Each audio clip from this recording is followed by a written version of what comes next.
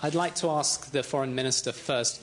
და დღის სხვა ამბები ოკუპაციის მუზეუმის საქართველოს კათოლიკოს პატრიარქის ამბროსი ხელაიას 150 წლის იუბილეს მასპინძლობს. სპეციალურად ამ მიზნით მუზეუმში რამდენიმე დღის დღის განმავლობაში პატრიარქის ხელნაწერები გამოიფინება. უნიკალური დოკუმენტები პატრიარქის შესახებ მოგვითხრობს. ოკუპაციის მუზეუმში ღონისძიება გუშინ გაიხსნა. სასულიერო პირებთან ერთად მასში საქართველოს პარლამენტის თავმჯდომარეც მონაწილეობდა.